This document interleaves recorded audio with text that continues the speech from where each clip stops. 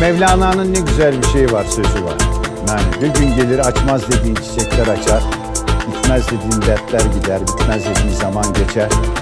Ama hayat öyle bir şey ki önce şükür, sonra sabır, sonra da inanmak gerekiyor. Onun için insan hayal ettiği müddetçe yaşayacaktır. Hayallerini bir insan bir gün kavuşur. Ben de onu yaşadım işte, gördüm.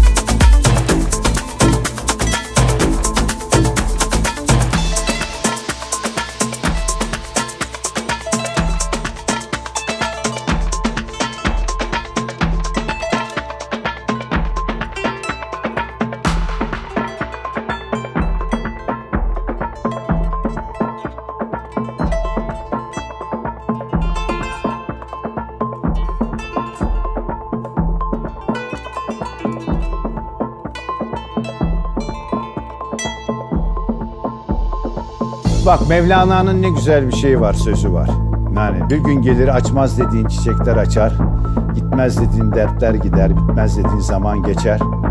Ama hayat öyle bir şey ki önce şükür, sonra sabır, sonra da inanmak gerekir.